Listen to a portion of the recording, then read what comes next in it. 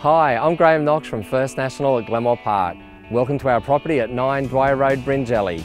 Set on 5 acres, this property is located on a quiet and sought after street in Bringelly. The property offers a variety of possibilities. It's ready for renovation, but you could rent it out or live in it while planning to build your dream home. The home has four bedrooms and spacious living areas, including a step-down lounge area. The home is privately set off the street with a long driveway. There is great scope also at the rear of the property, ideal for extra sheds or garaging and room for horses and other pets for animal lovers. The property also comes with its own dam.